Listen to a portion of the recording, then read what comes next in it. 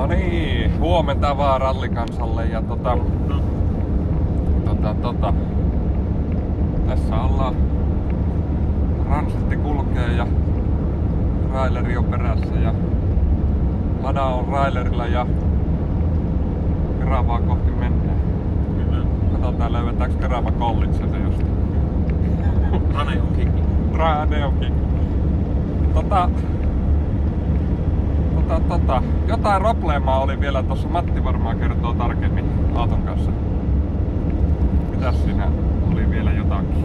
Se laturin kanssa nyt on vähän pientä painia vielä, tai lähinnä sen latauksen kanssa, kun jostain syystä nyt ei 13.3 se nyt lataa, mutta kun valot pistää päälle, niin se vielä putoaa 12 puoleen. Joo, se kuulostaa vähän siltä, että ei oikein on ole. tuossa autossa nyt, se kävi sähköpenkissä, kun se laturi on ollut sääni ja näin, se on silleen pitäisi olla kunnossa, mutta se on varmaan tuossa autossa on joku, joku kosketushärö siellä luultavasti. Otettiin vähän sähköjohtoja nyt mukaan tuossa, että tehdäänkö sinne lisää, lisää maadotuksia. Joo. Joudutaan vielä askartelemaan tässä ennen kuin päästään taipaleelle. Niin, tää nyt taas aina vähän, vähän olisi kivempi tulla tallissa tehdä, mutta tää nyt Joo. on taas tällaista. Niin sehän silloin jo viikko sitten niin tuota oli sitä probleemaa silloin huomattiin sitä lataushommaa ja no sitä siinä tota mitä siinä sitä siinä vaihdettiin jotakin toista laturia ja Joo, sekin oli kappaleena ja sitten niitä laitettiin tuonne sähköfirmaan korjattavaksi ja sieltä tuli yksi ehjilaturi, se toinen oli loikosulussa, sitä ei voinut ehjitä Ja silloin kun niitä vaihteli ristiin niitä latureita ja sitten vaihoi sitä jännitteen säädintäkin siihen toiseen, niin kun se oli oikosolussa, niin se luultavasti poltti vielä sen ehjän säätimenkin sitten. niin, Siinä kävi taas monta monessa niin sanotusti. niin.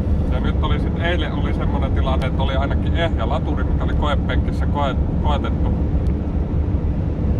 Ja hyvillä mieli sitä paikalleen, niin eipä se sitten vielä mikä korjaantunutkaan. Niin, se ei nyt ei vielä, vielä niin paljon lataa, mitä nyt se on, se pitäisi ladata. Että varmaan nyt joku, joku pikku vika, Joo. vikaa vielä siinä autossa. Että se on näköjään kun takapyörä irti, niin se lakkaa lataamasta. Joo. Kyllä. niin ne vaikuttaa näköjään. Mutta tuota... Joo, semmonen pien askarteluhomma on tänään vielä tässä ennen kuin lähdetään taipaleelle, että saa tässä lataamaan kunnolla ja... No mitäs muuta? Mikäs, mikäs meidän kilpailunumero oli?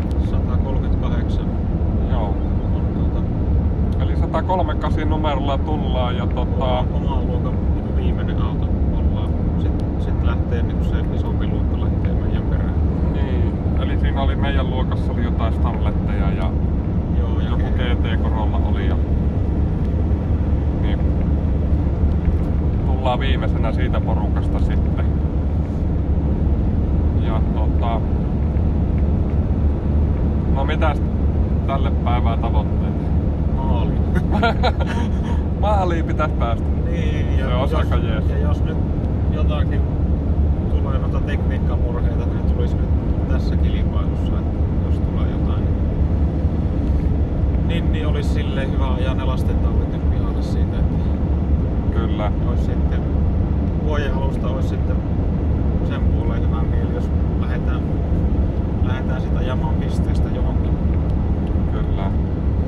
Silleen ei, ei tota, et voitais semmonen fiksu kilpailu saada ajettua. Että tiet on vissiin aika nopeita, nopeita että tuota, kyllähän siellä varmasti rajoitin taas ponnistetaan. Että, Joo.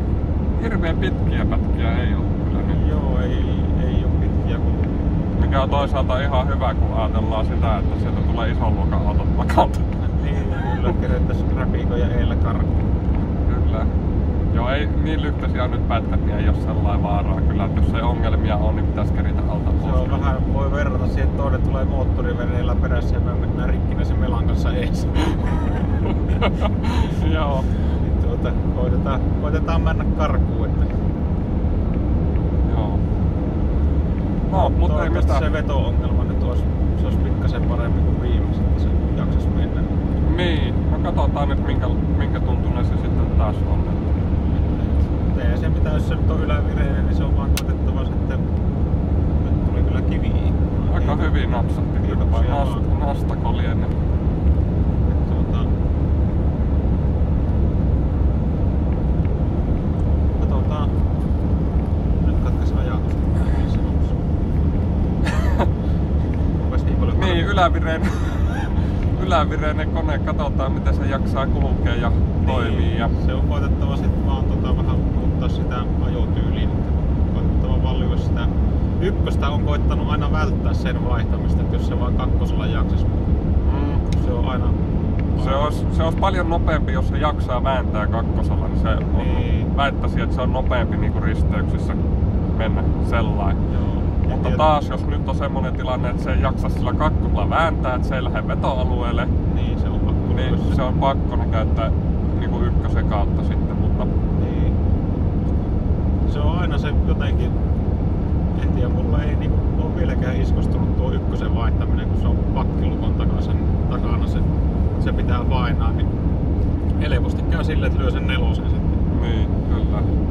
Ja hässäkkä on valmis. Sekä ei se, se on nyt koitettava vaan rauhallisesti mennä sitten se, että koittaa saada se pykälä vaan lyötyä sinne.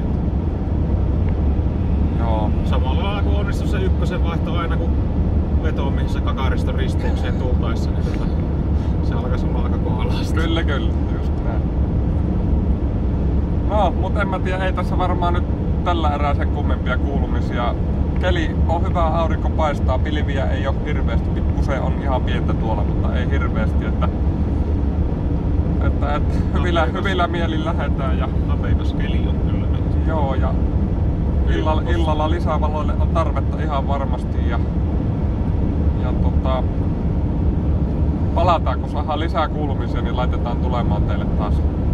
Joo, eikä Pysykää, pysykää kuulolla sen verran. Niin, päivän mittaan jotakin, jotakin tilannetietoa varmasti tehdään.